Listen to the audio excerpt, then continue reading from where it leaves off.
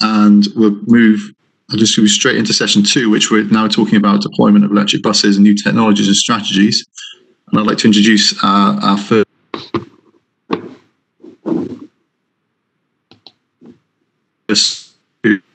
in electric vehicles for at least 20 years, I see from the biography. Um, and in 2010, he established eBusco.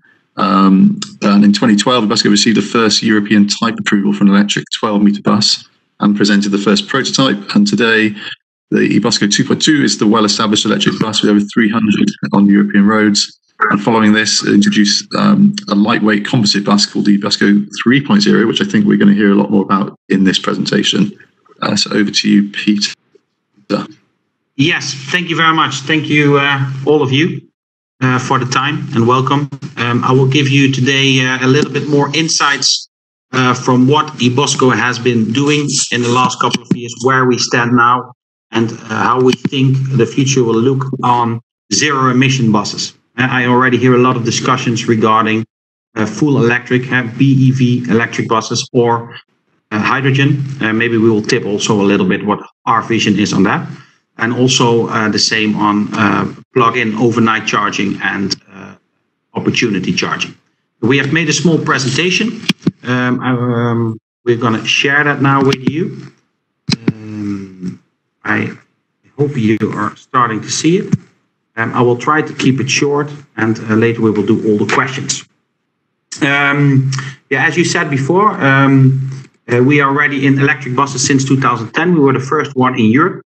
Um, at that moment, when we started with electric buses uh, and we showed it at the IAA in Hanover, they said, um, Peter, you're completely crazy. This will never work because your bus has double the price and half of the range of our diesel bus. So uh, forget about it.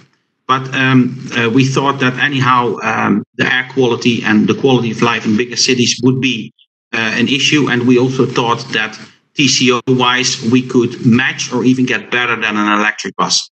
So we um, deployed our first model in uh, in Helsinki in 2012 at uh, Veolia Transport. Um, this was a very good test case. There was only one bus at that moment, uh, but in the in the winter months, uh, December, January, February, it was minus 20. And as you know, this can also be a challenge for electric mobility.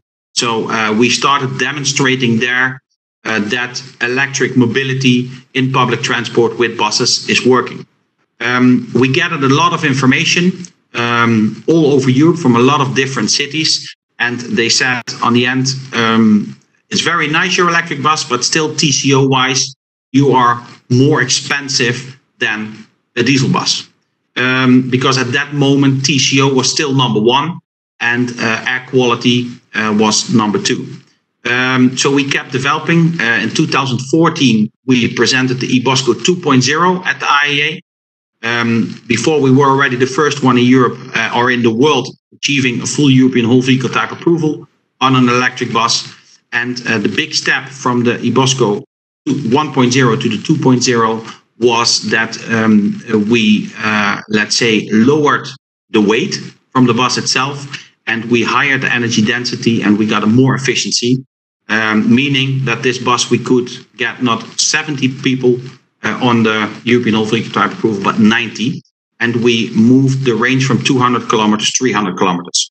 And having said this, in this way, we could also prove that TCO wise, uh, if you uh, would stay above the 70, 75,000 kilometers per year, would be uh, better in TCO than a diesel bus.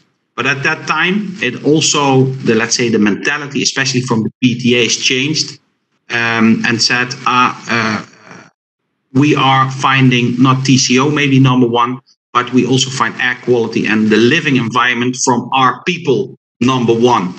Um, so they start changing the tenders. Um, uh, I think especially Holland is a front runner uh, as you see how fast the transition goes. Um, so now we are at a at a point that um, uh, we think and see that uh, the only way forward is zero emission. Of course, then you have two possibilities um, one is hydrogen, the other one is battery electric. Um, both, of course, are electric buses. Only one gets energy from the hydrogen and the other one from the battery. TCO wise, um, we believe that uh, at this moment, and uh, we think also for the next 10 years, uh, the battery for sure will win. Um, and after that, we will see that. But uh, if you look at certain items, I think also discussed before, uh, TCO wise, hydrogen is, far off an electric uh, bus. The hydrogen itself um, uh, is by far not green, or as I heard before, yellow, blue, grayish, black, whatever. but the, the, the supply that is there is not green. And um, uh, the last one is, of course, efficiency. You lose a lot of efficiency. So for the moment, um, uh, we uh, uh we fully believe in battery battery electric vehicle. Um, we are an innovative company. Um, uh, we are pioneers, as I told you, since uh, 2012, and we focus only on zero emission buses. So we all our buses that ever built are zero emission buses, battery electric uh, from scratch of on. So uh, from the first drawing, uh, it's a fully electric bus. Uh, we have gained, of course, a lot of experience in the last eight to 10 years, and we have focused uh, especially also later on the TCO because I always say green is nice as long as it does not affect the price. So meaning we all want to go green, but on the end, of course, we don't want to pay more for that. So we have been working very hard on that.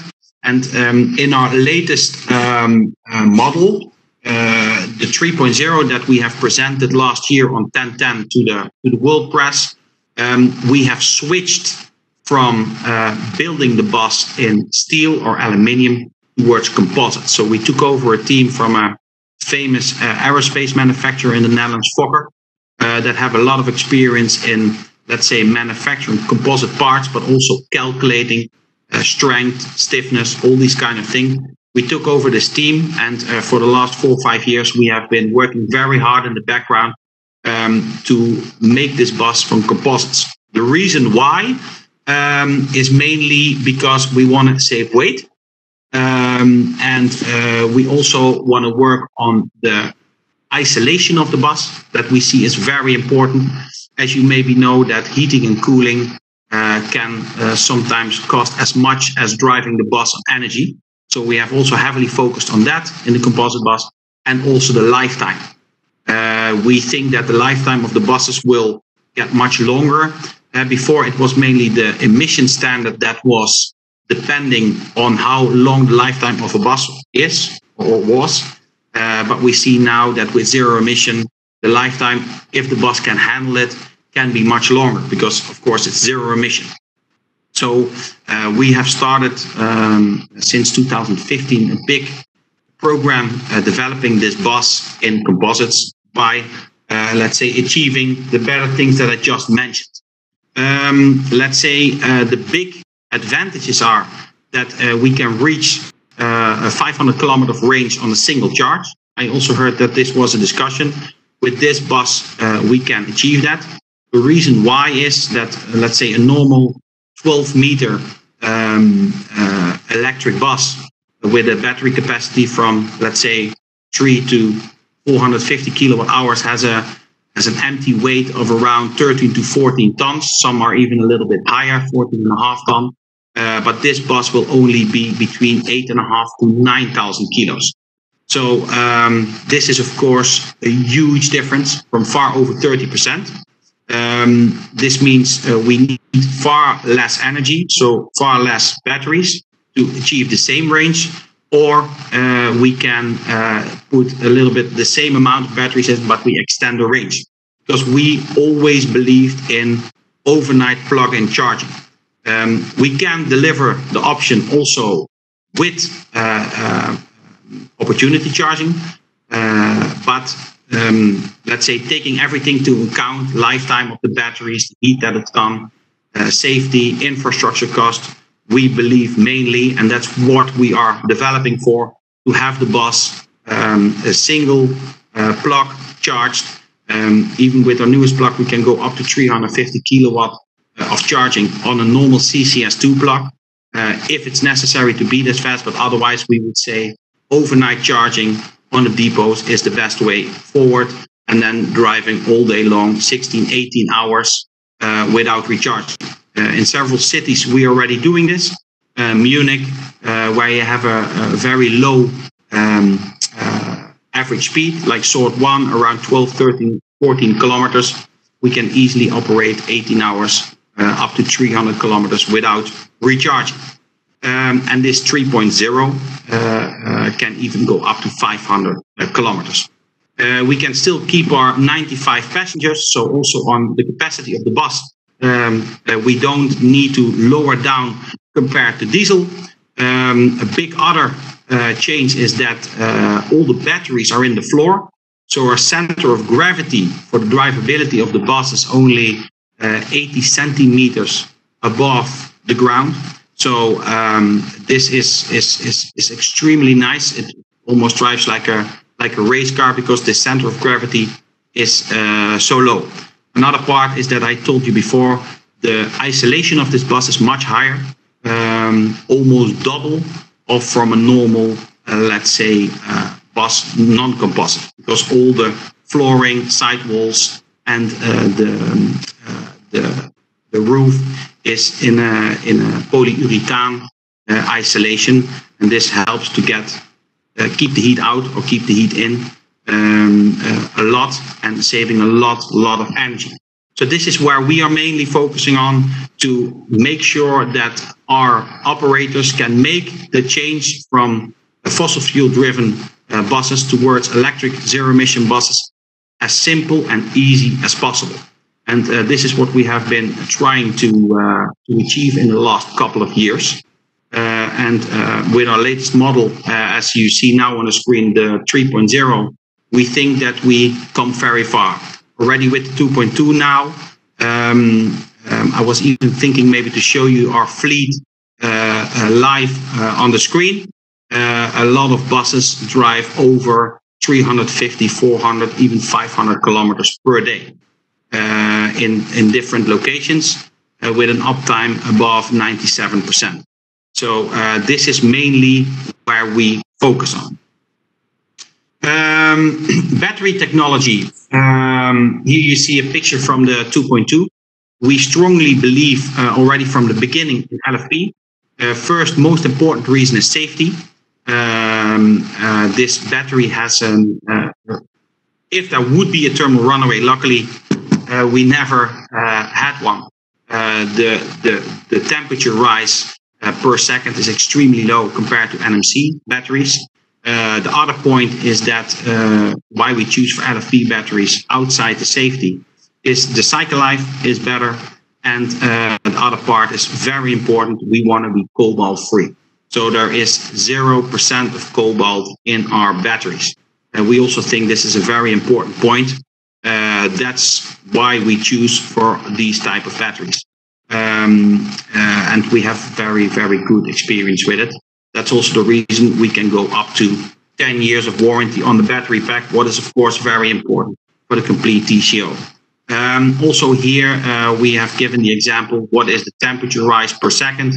An LFP battery is 6.6 uh, degrees per second and NMC is 153.9 when there would be a thermal runaway. Um, so this is extremely important together with also uh, the part of no cobalt. Um, that's our uh, uh, vision on the battery technology. Charging uh, infrastructure, we also want to keep that as simple and um, easy as possible. Um, so uh, we, we can do both depot charging and opportunity charging, where you see some pictures from below. but for sure, we believe that opportunity charging in the in the future will go out, especially when the range gets longer. Uh, it also involves a lot of cost. Um, so our development team uh, always has this uh, very strong on top of their points to develop our bus with a certain range that we only need to overnight charge on the depot quite slowly. On the other hand, we also uh, work very hard to not only deliver an electric bus, but also to be part of the energy system that uh, we already achieved to be bidirectional.